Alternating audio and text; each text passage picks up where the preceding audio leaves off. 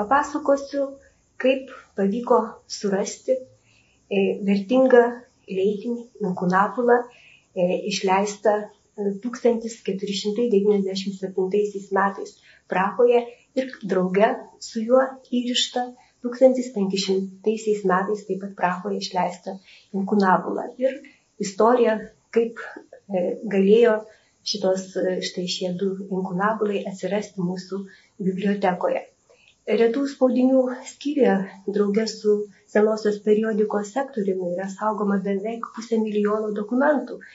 Jie yra suskirstyti į vairius fondus. Savo laiku tai buvo vis, visa informacija apie tai, ką mes saugome tik tai katalogo kortelėse. O dabar tai, ką mes turime, jau ne vienerius metus atskleidžiame ir įrašydami į elektroninį katalogą. Šiuo metu jau baigiamas tvarkyti memorialinis e, akademiko Konstantino Jablonskio fondas. Jame yra beveik 9000 leidinių. Už šio fondo tvarkymą atsakinga kolegė Danguolė Palačionytė, tvarkydama tuos štai leidinius, atnešė vieną knygą ir pasakė, kad neaišku, kas čia yra, nes katalogo kortelėje, o Konstantino Jablonskio, akademiko Konstantino Jablonskio katalogo kortelės buvo laikomos tik tai Vrublevskių bibliotekos Tado Vrublevskio skaitykloje ir ne, ne visi žinojo tiesiog, kur ieškoti. Tai toje katalogo kortelėje nebuvo jokių duomenų. Iš tikrųjų buvo parašyta tik tai, kad tai yra nežinoma e, vieta, kur, kur išleista be metų, ne, nebuvo pavadinimo, tiesiog e, kažkoks neaiškus dalykas. Ir pasižiūrėjome, na štai šitą knygą, matosi, kad knyga yra sena, E, likę yra žalvarinio užsegimo likučiai, e, įrišas ir pradėjome detaliau mes tą knygą nagrinėti. Kas čia galėtų būti ir kodėl jos tiek metų niekas nepastebėjo, niekas jos neieškojo, bet kas ir galėjo ieškoti, jeigu buvo parašyta, e, kad nežinia kas.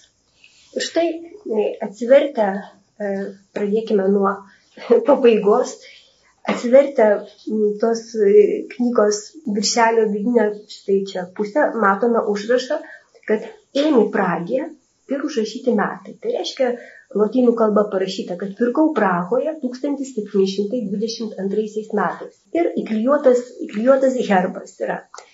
O pirmoje viršelio pusėje yra parašyta, kad šita knyga e, priklausė taip pat lotynų kalba parašyta, kad Ekslibris Ekvitis Joanis Karolį Josefį Zečydą Znoris, kad tai yra e, bajoro e, Jano Karlo Josefo Zečydas Znorizą nusavybė.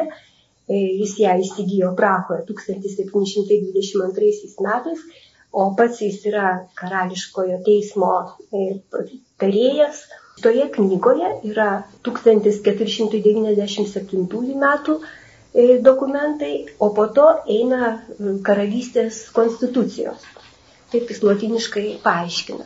Atsivertę e, pradžią knygos mes supratome, kodėl ta knyga galėjo būti e, ne, nežinoma, nes jeigu žmogus neturėjo laiko įsigilinti, tai inkunabulai neturi mums įprastos antraštės ir tikrai gali pasirodyti štai pirmajame lape nieko nėra, prasideda iš karto tekstas E, kaip mes sakytume, nuo antrojo puslapio. Ir galima buvo tikrai palaikyti, kad tai yra e, na, defektuota e, knyga. Ir paskui pasižiūrėjus kolegė Danguolė sako, kad čia tikriausiai yra čekų kalba. Ir iš tikrųjų pats pirmas sakinys jau svolėnės nėmo ir, aiškiai, parašyta čia skiego. E, taigi supratome, kad mes čia turime ieškoti dokumentų čekų, čekų kalba išleistų Čekijoje ir kad tai turėtų būti inkunabulas, nes šone rašalų rudų ir yra parašyta 1497 metai.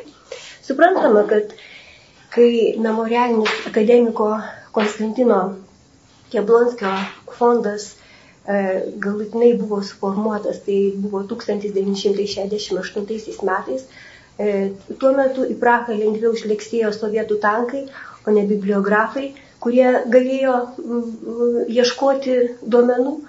o pagalbinių šaltinių čia nebuvo. Taip ta knyga ir sulaukė geresnių laikų. Visai kitaip susiklostė mums. Todėl, kad interneto prieigose mes radome pakankamai nuorodų žymiausių čekų knygotyrininkų veikalus, jie be to visi paskelbti, e, prieinami, kaip sakoma dabar, e, interneto prieigą ir mes pradėjome jais domėtis. Gavę nuorodą, išstudijavome, taip galima pasakyti, Emos Urbankovos e, straipsnį ir ten suradome tokį įdomų dalyką tokia tiesiog, galima sakyti, nuo čia prasidėjo ir tam tikra detektyvinė istorija.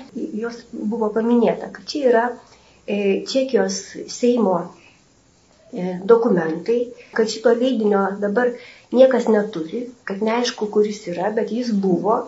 Bet paskutinį kartą apie tą leidinį buvo parašyta 1820 metais išleistoje knygoje, mes ją turime savo fonduose, tai būtent panslavisto slavofilo e, Lenkų mokslininko, daugiausiai jisai domėjosi žemdirbystę, bet taip pat ir istoriją. Jo e, išleistas į Lenkų kalbą išverstas e, teisinas rusų tiesa. Tai yra senieji rusų teisino dokumentai. Rusų teisinas turėjo šiek tiek įtakos ir Kazimiero teisinui, ir statutui, Tai štai e, galima suprasti ir kodėl tas e, teismo tarėjas ir įsigijo e, inkunabulą. Ir mes savo fonduose suradę štai šitą knygą, suradome nuorodą ir kaip tik čia Ignacijus Benediktas Rakovieckis, tas panslavistas, jisai pažymė čia štai pastabose parašyta, nes jis lygino įvairias slavų istoriją, kultūras pažymi, kad ta knyga leido pasinaudoti 1820 metais Varšuvoje senatorius e, Novosilcevas, Nikolajus Novosilcevas. Ir kad tai esanti labai reta knyga, todėl jisai pacitavo pradžią šito štai inkunabulo. Ir mes palygnome, kad taip tikrai e, tekstas e, tas. Po to dar suradome duomenų, kad 18 amžiuje vienoje ta inkunabula e, turėjo e, bent jau pirmąjį, čia mes turime konvoliutą, bent jau pirmąjį e, turėjo Rozental archivaras, bet neaiškus jo likimas ir niekas toliau nespėliojo, kur galėjo dinkti šitas štai, šita štai knyga. Pradėjome domėtis, ar iš tikrųjų mes galėjome surasti prieš 200 metų paminėtą knygą. Ir kuo čia dėtas e, Novosilcevas. Labai nesinori minėti šitos, šitos mens ir šitos pavardės, nes tai yra vienas iš abiejų tautų, turiu galvoje Lenkų ir Lietuvių tautų būdėlis, senatorius, e, o į gyvenimo pabaigą už savo nuopelnus gavęs ir grafo titulą, gimęs kaip nesantokinis e, sūnus Novosilcevo.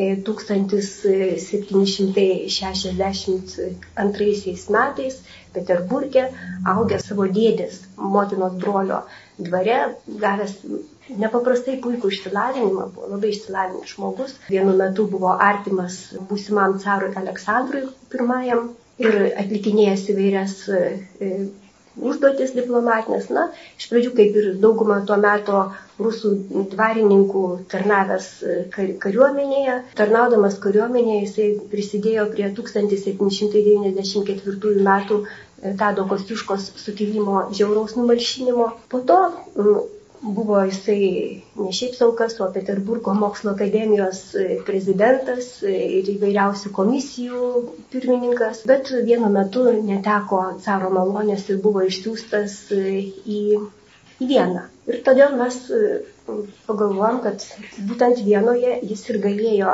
įsigyti tą inkunabulą, nes labai domėjosi įstatymais ir šiaip Rusijos aukštosios ekonomikos mokyklos, na, kurį ten rusai patys sutrumpintai vadina višką, e, tinklalapyje, kur yra e, skirta įvairiems e, konstitucinės teisės kuriems, tai Novosilcevas minimas kaip bandęs ir parengęs du projektus. Tai 1820 metais Rusijos konstitucijos projektą ir baudžiavos panaikinimo projektą. Jisai matyt, būdamas e, Prahoje, nors ten sakoma, jis labai liūdėjo ir neturėjo kuo užsiimti ir netgi paniro į alkoholizmą, bet matyt, tokiomis prablaidėjimo minutėmis galėjo būti antikvariete ir įsigyti štai šitą leidinį. Kodėl mes manome, kad, kad vienoje, nes e, savininko buvusio e, Ziči Snorizos knygų, e, ieškodami taip pat aptikome įvairiose Europos bibliotekose. Ir vienas ir paminėjimas buvo ypatingai įdomus, nes Odesos universiteto bibliotekoje, o jinai įsteigta kaip imperatoriškasis Novorosisko e, universitetas XIX e, amžiaus viduryje, kad jisai turi e, knygą su štai proveniencija iš minėto bajoro, bet tą knygą yra įsigijęs Lenkų istorikas profesorius Hubė, kuris dirbo tame universitete būtent Vienoje. Bajoras Snoriza buvo didelis bibliofilas, turėjo sukaupęs nemažą biblioteką ir labai tikėtina, kad jam mirus jo kauptos knygos buvo, na, išparduodamos, sakykime, Vienoje.